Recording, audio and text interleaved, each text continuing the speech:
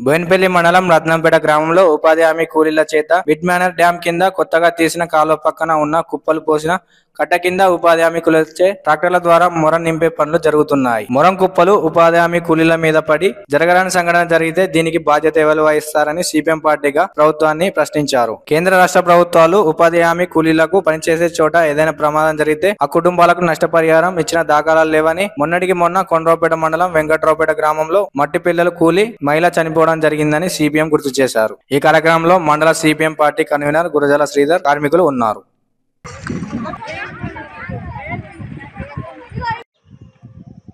ఈరోజు బోయిన్పల్లి మండలం రత్నంపేట గ్రామ శివారులో కొత్తగా తవ్వుతున్న అదనపు కాలువ ఏదైతే ఉందో దానికి ప్రమాదపు అంచున ఈ ప్రభుత్వ అధికారులు రత్నంపేట గ్రామంలో ఉన్న ఉపాధి హామీ కూలీలచే ప్రమాదపు అంచులో చేర్చి పని చేయించడం జరుగుతుంది.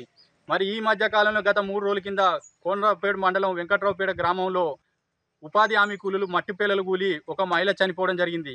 మరి ఇప్పటివరకు కూడా ఈ ఉపాధి హామీ చట్టం తీసుకొచ్చిన కానుంచి కూడా ఎంతో మందికి గాయాల పాలై ప్రాణాలు పోగొట్టుకున్నా కూడా ఈ కేంద్ర రాష్ట్ర ప్రభుత్వాలు ఆ కుటుంబానికి ఒక్క రూపాయి ఇచ్చిన నష్టపరిహారం దాఖలు మరి ఇలా ఉపాధి హామీ కౌలుల ప్రాణాలకు మరి ఇలా ఎవరు బాధ్యత వహించాలి ఇలా? ఇలా ఉపాధి పని ఉపాధి పని పనికి మనం వ్యతిరేకం కాదు.